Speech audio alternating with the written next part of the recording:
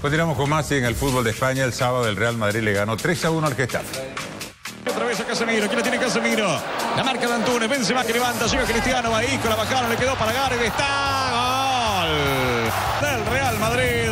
Marca el primero en 23 minutos. Gana el Real Madrid frente a Getafe. La viene tocando Casemiro, la pelota viene para Benzema, le puede pegar. Benzema prefiere por bajo y esto va, atención, tiene el segundo Cristiano, Cristiano le quedó para la zurda, Cristiano que le pega.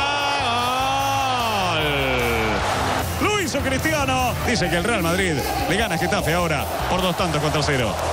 Se viene Molina para el descuento. Va a cerrar Carvajal. La pelota en el área. Penal, penal, penal, penal. Sí, señor. Penal para el Getafe.